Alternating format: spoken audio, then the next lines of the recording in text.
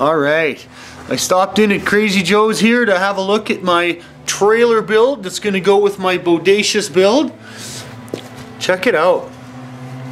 Looks great. It's got the fenders all made. Everything's there pretty much. It's just a matter of the final assembly it looks like, eh Joe?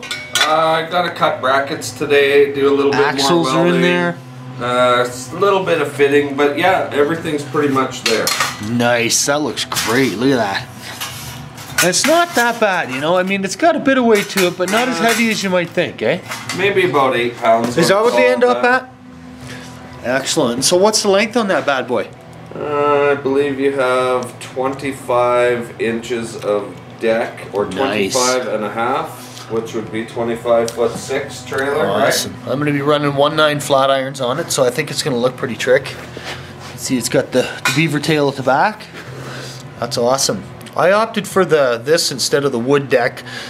I like this idea. I mean, I like the wood deck too, but I like this one a little better. I think the openness of it, uh, allowing crap to fall through. Plus, I want to use this thing for a few other things as well, so it's definitely going to be multi-purpose.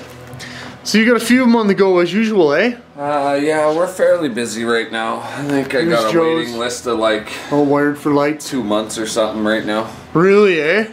At this point, where Well. are we at? The 16th of March? Everybody likes trailers, right?